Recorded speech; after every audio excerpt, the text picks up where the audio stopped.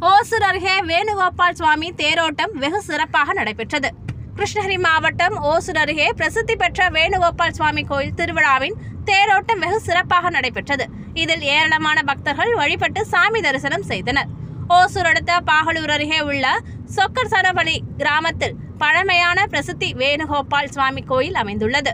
ஆண்டுதோறும் மாசி மாதத்தில் மூன்று நாட்கள் திருவிழா நடைபெறுவது வழக்கம். இந்த ஆண்டும் திருவிழாவின் கடைசி நாளில் வேணுகோபால் சுவாமியை அலங்கரிக்கப்பட்ட வண்ண தேரில் அமர வைக்கப்பட்டு கோயிலை சுற்றி வந்தனர்.